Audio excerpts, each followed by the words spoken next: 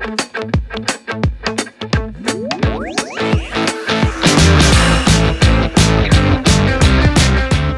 Bobby. How are you? I am good. How are you? Fine, thanks. What does NASCAR means to you? Well, NASCAR means a lot. Um, my family moved from Texas uh, to North Carolina to race in NASCAR when I was 15 years old. Wow. Uh, for my brother and my family and myself, um, you know, racing, we've always been racing and we've always raced NASCAR. So to say that it's put food on our, on our table is an understatement. It has been our life. Okay, that's wonderful. wonderful life, maybe. Wonderful life, yes. You raced NASCAR for many years, and now you are in a new adventure here in Europe. Uh, what uh, are your best memories in NASCAR? I'd say some of my best memories in NASCAR are, uh, or one especially, is when uh, in 1996, when I won the race in Atlanta, and my brother won the championship in the same race. So the picture that I have, me winning the race, my brother win the championship, and my parents with us, because for them, they devoted their whole life to our racing. And for them to have their two sons in victory lane the same day was very satisfying.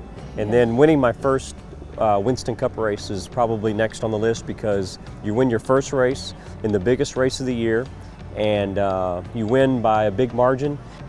That just, it doesn't get any better than that. So those are two great memories I have uh, in NASCAR. There, and there is many, but that's the best ones. I can't believe it. Yeah. yes. How is the feeling of being a NASCAR champion, and how does it change your life uh, winning the Cup title in 2000? Well, um, yeah, winning winning the championship or leading up to the championship was amazing. After winning the championship, it's like people recognize you for what your accomplishments are and what you've done. Um, but it's funny because the year that I won, I was so uptight getting to that point, and I didn't tell anybody. I was always I faked it. When it was over, it was such a relief.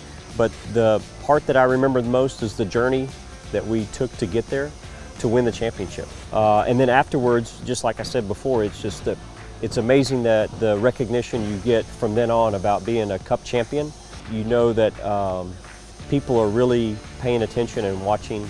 You'll, they'll never take that away, and you'll always have that. And it's a great feeling, and it's it's it's amazing to see people and meet people that remember that, and and were fans uh, of me at that time. So it's a great feeling, and it changed my life for the better. What is your tough of uh, having a NASCAR series in Europe, uh, and how is the feeling of being the first NASCAR champion racing full time in Europe in the series? To me, it's exciting. It was an opportunity for me at the right time after racing for so many years in the U.S. and then more or less ending that career, uh, but still want to race, still um, able to race and, and have the opportunity to come uh, overseas and do it as still NASCAR Yes. still all the same people per se that I know on the uh, in the U.S. that help for the NASCAR Euro Series. So it's uh, it was a great opportunity because also I I watched and paid attention for a few years and saw the the series getting more competitive, more competitive, bigger and bigger, growing. And uh, to me, what I like about it is the um, the way that it's done with the, the say the grid walk and say the um, the way that the fans can interact with the drivers. And for me, it's a lot less stressful because in the states it's like you're you're so much on go all the time. So to me, it was uh, a good time to come over and and be a part of it. You are both an analyst for NASCAR Race Day on Fox Sport and a race car driver in the NASCAR in Euro Series. How is the feeling of being on both sides of the barricade? It's a little harder to be an analyst and watching drivers and talking about them than it is to drive. So I've had to learn a lot, and I've had a lot of good people give me a lot of good advice. So I've been doing it for about two or three years now, and I, um, I I'm really comfortable with talking about uh, what I see, what happens on the racetrack. You know, I try not to be um, in the middle too much. I want to be, you know, positive on something that's positive, and if I see something I don't think's right, I will talk about it.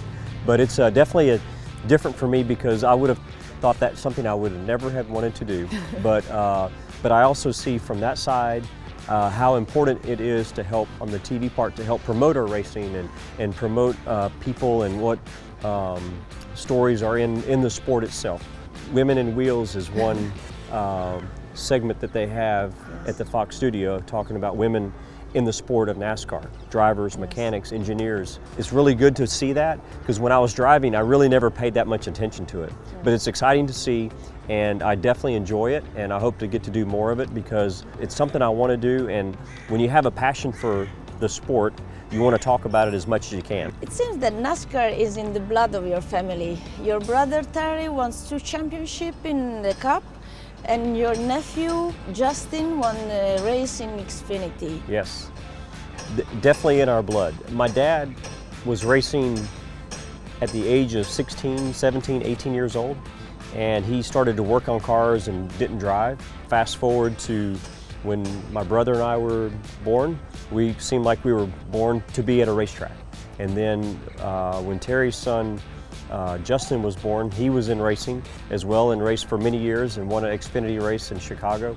Terry won two championships. My dad was mechanic for me, uh, mechanic for him, a mechanic for Justin. It's definitely in our in our bloodline. And again, my we followed a dream, and the dream was to race in NASCAR and to win. And so for Terry to win two championships, I've won a championship. We've won Xfinity championships, so so it's been very good and very blessed that my dad started all that. Okay. And uh, so he's been able to touch all of our racing careers Yes. in our lives. It's just good feeling, I think, for all the family.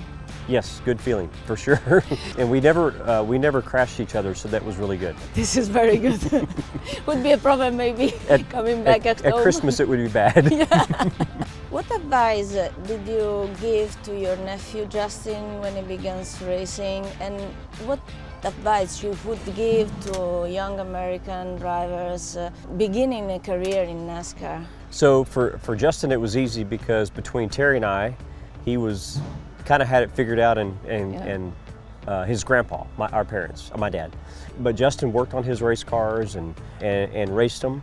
And that's what I would tell anybody else that it comes to me, and I have a lot of people with uh, kids that are 15 or 16 that wants to race. And so I immediately say, well, you find out what you want to do. If it's go-karts, if it's you know, wh- wherever you're at, you kind of find the easiest thing to do. You go to the local track, you go to somewhere and you're racing a series and you, you do the best you can and be as, as um, devoted to win.